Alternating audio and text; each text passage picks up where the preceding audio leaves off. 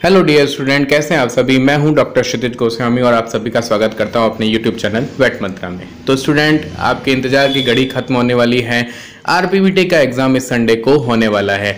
तो अब एग्ज़ाम में जब आप जाएँगे तो उससे पहले आपको क्या चीज़ों का ध्यान रखना है? कौन कौन सी चीज़ें आपको एग्जामिनेशन सेंटर में लेके जाना है? ये वीडियो मैंने उसके लिए बनाई है। आइए इस वीडियो को ध्यान से देखते हैं। तो दोस्तों आरपीवीटी की कुछ इंपॉर्टेंट डेट्स और आपको टाइमिंग याद रखना है। जैसे कि डेट ऑफ़ एग्जामिनेशन है, इस संडे को 11 तारीख को है। ओपनिंग ऑफ़ एग्जामिनेशन सेंटर साढ़े आठ बजे ओपन हो जाएगा एग्जामिनेशन सेंटर रिपोर्टिंग टाइम आपको पहुँच जाना है सेंटर में। साढ़े आठ से साढ़े नौ के बीच में पहुँच जाना है। जल्दी से जल्दी पहुंचें। Last entry in examination centre साढ़े नौ बजे तक रहेगी। उसके बाद में एंट्री नहीं होगी। खासकर याद रखिएगा, ये स्ट्रिक्ट रूल है। साढ़े नौ बजे के बाद में एंट्री नहीं है। एग्जामिनेशन का टाइम रहेगा 10 से एक बजे का। तो 10 से 1 बजे आपका एग्ज़ाम रहेगा तीन घंटे का। तो ये इंपॉर्टेंट याद रखेंगे। यहाँ पर साफ़ एक लाइन लिखी है all the candidates are advised to reach to examination centre well in time The main gate of examination center will be closed sharply at 9:30 am on the examination date तो साढ़े नौ बजे बंद कर दिए जाएँगे गेट इसलिए आपको टाइम से पहुँचना है। A candidate who comes after 9:30 AM shall not be permitted to enter the examination centre under any circumstances इसलिए आपको टाइम से पहुँचना है। साढ़े नौ से लेट नहीं करनी है। साढ़े नौ बजे से लेट गए, आपका एग्ज़ाम छूट जाएगा।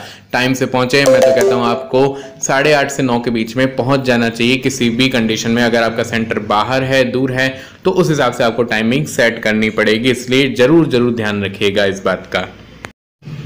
स्टूडेंट अब बात करते हैं ड्रेस कोड की। क्या रहेगा dress code male dress code जो बॉय कैंडिडेट्स हैं, उनके लिए आप लाइट क्लॉथ्स आपके लिए रहेंगे, जिसमें कि आधी बाजू की शर्ट या T shirt half sleeve shirt और टी शर्ट होनी चाहिए।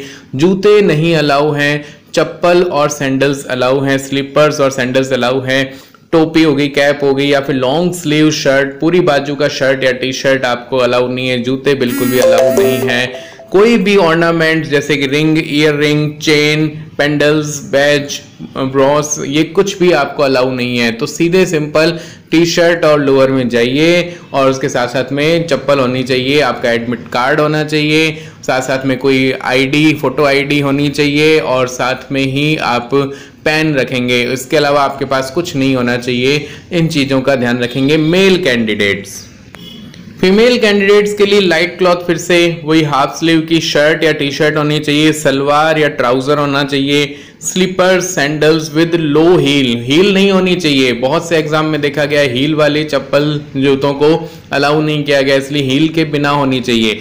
वही cap long shirt sleeve shirt और टी शर्ट अलाउ नहीं है शूज़ अलाउ नहीं है। कोई भी ऑर्नामेंट जो गर्ल्स के होते हैं, वो आपको अलाउ नहीं है। Any कैंडिडेट मेल और female wearing ornament will not be allowed in the examination centre तो फालतू में ये चीज़ें आपको लेकर के नहीं जानी है, आपको एग्जामिनेशन में एंट्री नहीं दी जाएगी।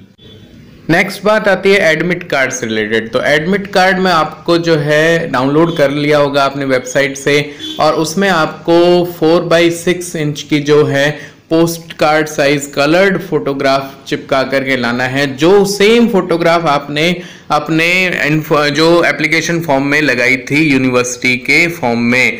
और ये दूसरी चीज़ है कि साथ में एक परफॉर्मा मिलेगा और परफॉर्मा को जो है वो इन्वेजिलेटर के द्वारा कलेक्ट कर लिया जाएगा। तो सेम फ़ोटो आप चार बाई छः इंच की फ़ोटो लेकर के जाइए, जो आपने सेम फ़ोटो आरपीवीटी की वेबसाइट में लगाई थी एप्लीकेशन फॉर्म फिल करते टाइम ये आपको साथ में एडमिट कार्ड और परफॉर्मा ले जाना है, जो कि इन्वेजिलेटर कलेक्ट कर लेगा।